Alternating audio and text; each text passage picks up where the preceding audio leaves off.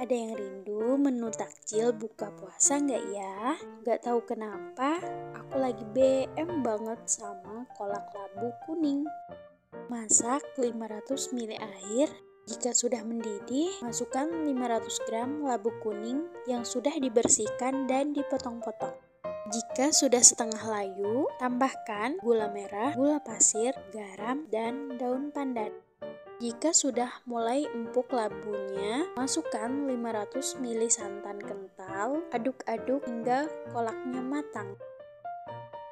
Menu takjil bulan puasanya ini enak banget, manis, gurih, dan labu kuningnya itu empuk banget.